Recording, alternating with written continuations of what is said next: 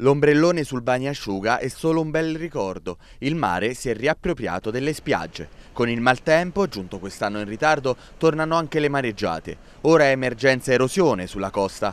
Sulla questione è intervenuto il presidente regionale del sindacato dei balneatori Riccardo Padovano. Tutta la nostra costa in queste ore è flagellata e martoriata dalle mareggiate annunciate, fa sapere Padovano, che si rivolge all'assessore regionale al turismo Mauro Febbo per sollecitare gli interventi a difesa delle spiagge che ad oggi tardano a partire.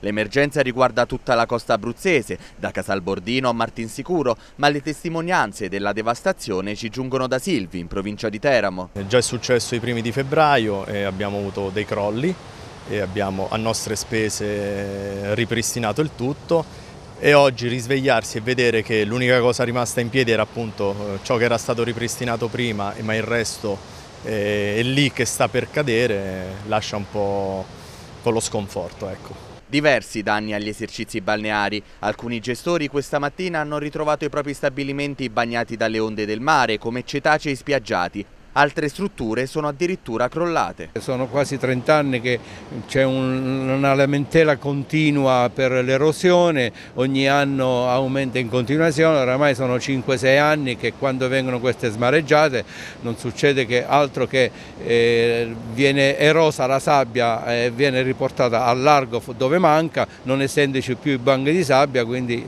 eh, noi rimaniamo senza spiagge. Il sindaco di Silvi, Scordella, ha dichiarato che il comune da solo non può fronteggiare l'emergenza. Si attendono ora risposte celeri da parte della regione.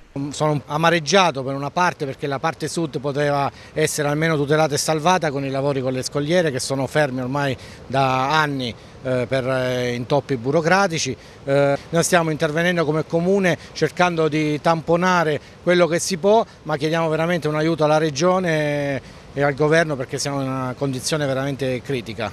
Naturalmente qui servono risorse importanti che il comune da solo diciamo, non può apporre. Dunque speriamo veramente un aiuto ma celere perché purtroppo la burocrazia alle volte è molto lenta.